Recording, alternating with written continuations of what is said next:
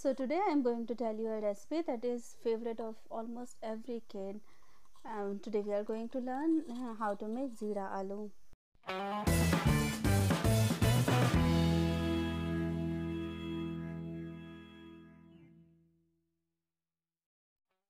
So name suggests the recipe. Zira means cumin or kummel and aloo means potato or kartoffel so uh, to make this you just have to take some potato and cut it in small pieces and wash them thoroughly with water.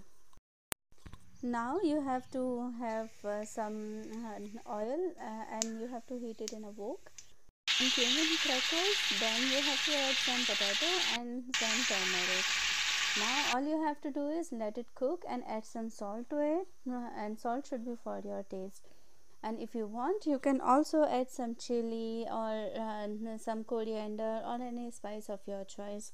But i am going to make it very simple because this is the way everyone likes it. What a nice crackling sound. And um, now at this moment what you have to do is just cover it and let the flavor uh, mix properly and now I'm going to tell you how to check if uh, potatoes are cooked. So you see you take your spatula and press the potato and uh, if it is cooked it will cut down very easily. So usually it takes two, three, four, five minutes to and to cook it completely. Now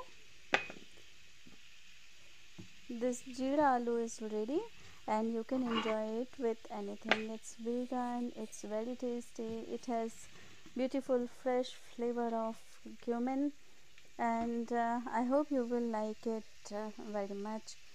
So good appetite thank you for watching this video till the end and uh, if you uh, it will be very kind of you if you hit like button and subscribe to ch my channel and then we will meet again with a new topic and a new video. Until then bye bye